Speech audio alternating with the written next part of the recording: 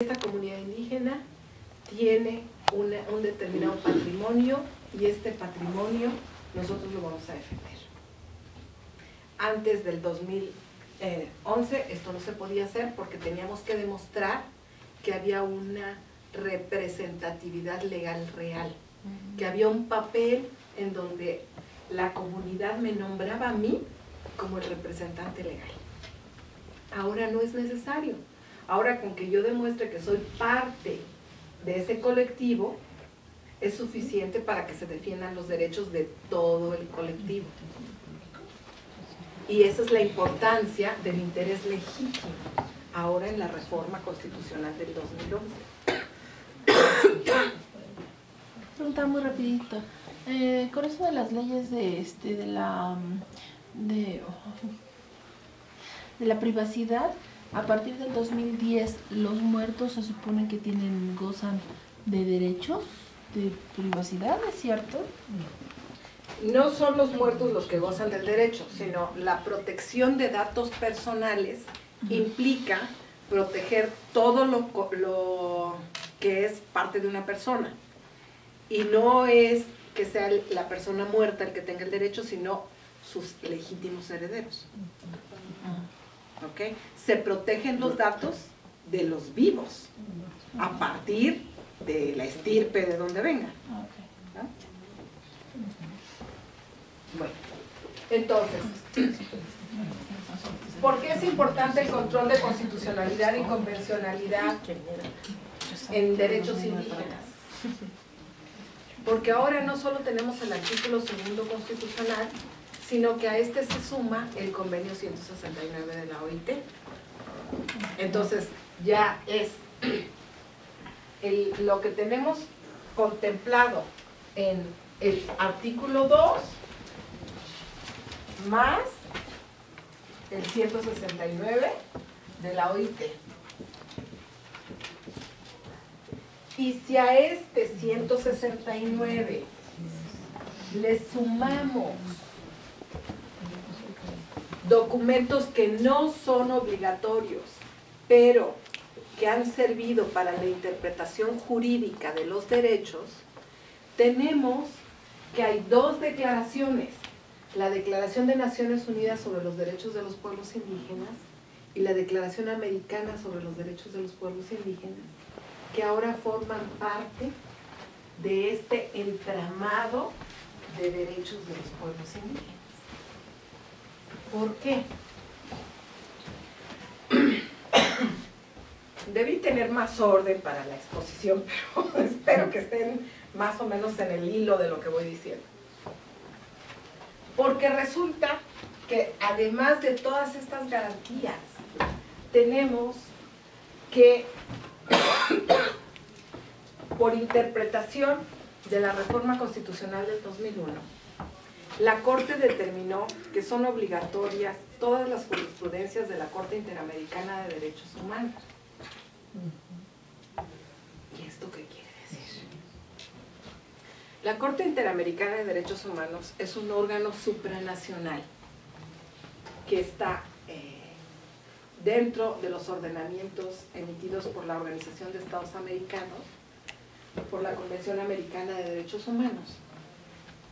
Y junto con la Comisión Interamericana de Derechos Humanos son los dos órganos que protegen o vigilan el cumplimiento de los derechos humanos. Sin embargo, la Corte Interamericana de Derechos Humanos es una corte, es un tribunal en todo su, eh, funcionamiento y llevan a juicio a los países que no cumplen los derechos humanos. Esta Corte Interamericana de Derechos Humanos lo que hace es revisar casos en donde las personas se quejan de que se les violaron sus derechos humanos y ya no hace responsables a corporaciones en lo individual, sino al Estado en lo general.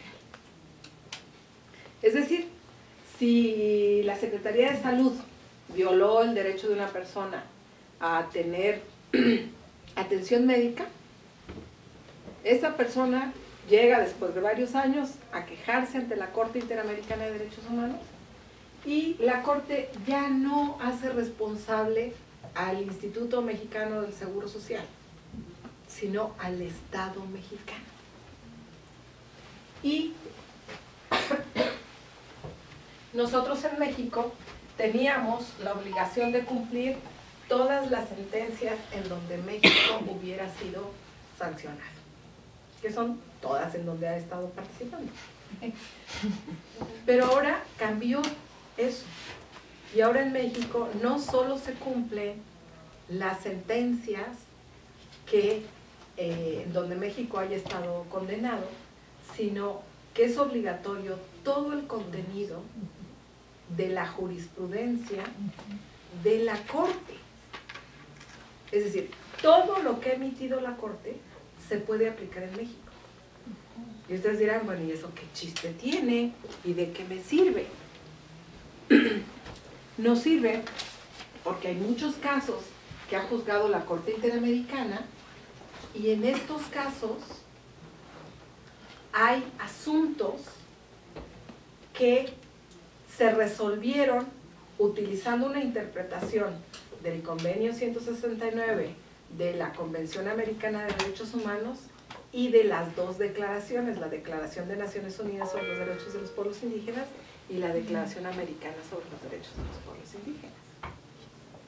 Y eso quiere decir que hay carnita específica que nos señala si hay un caso en donde nosotros sepamos que se violó un determinado derecho, podamos usar esa información que está en la Corte Interamericana para resolver este caso. Es decir, como si fueran los precedentes de las Cortes norteamericanas, como si fueran mecanismos de cómo se debe resolver un asunto.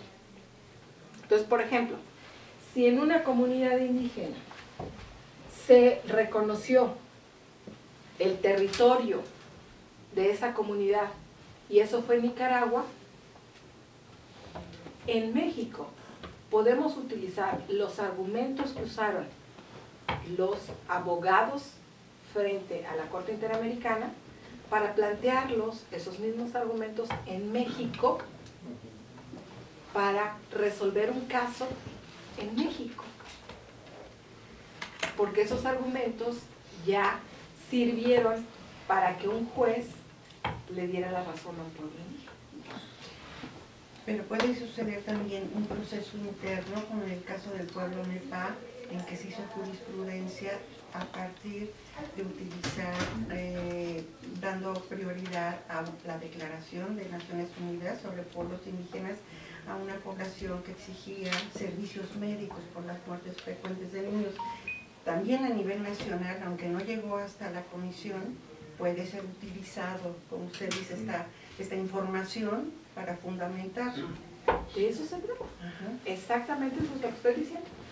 En ese caso se utilizó argumentos similares a los planteados en, en la Corte Interamericana en los tribunales locales. ¿Por qué? Porque eso es de lo que hablamos con el control difuso. Ahora el control difuso implica que todas las autoridades tienen que proteger derechos humanos. Entonces nosotros, con el juez de la esquina, podemos hacer argumentos que vienen de la Corte Interamericana de Derechos Humanos, que ya están probados, entre comillas, que ya sabemos cómo van, cómo deben resolverse en casos particulares. El asunto es que ahorita todavía no manejamos mucha de esa jurisprudencia, pero quien ya la conoce ya la puede usar. Ya sabe que un juez no puede ir en, contra de eso. Porque si, si, tenemos oportunidad de ver los derechos humanos, tienen progresividad. Nunca pueden irse para atrás. Es decir, la evolución de los derechos implica que si ya se logró un determinado derecho, no se puede legislar en contra de ese logro. Por ejemplo, en la Ciudad de México ya es un derecho el matrimonio entre personas del, mismo sexo, ya no puede emitirse una legislación que diga el matrimonio solo es entre un hombre y una mujer. ¿Por qué? Porque ya es un derecho adquirido. Entonces lo mismo ocurre con la Corte. Los argumentos que hay en la Corte Interamericana nos pueden ser útiles para casos específicos en México. Y eso es muy importante. Entonces, además de, de lo que estábamos viendo del, del control difuso, otra de las cuestiones que es importante es la inaplicación de normas contrarias a la Constitución. Ahora nosotros podemos directamente ir a cualquier juzgado y alegar que un, que un artículo de una ley viola derechos humanos de pueblos indígenas. Por ejemplo, Mardonio Carballo hizo una eh, demanda en donde señaló que había un artículo de la ley de radio y televisión que decía que únicamente se podía transmitir en las radios mexicanas en español. Y desde el 2003 tenemos una ley general de derechos lingüísticos. Entonces, esa ley señala que las lenguas indígenas están al mismo nivel que el español. Entonces no podía ser que las radios únicamente se pudiera transmitir en español.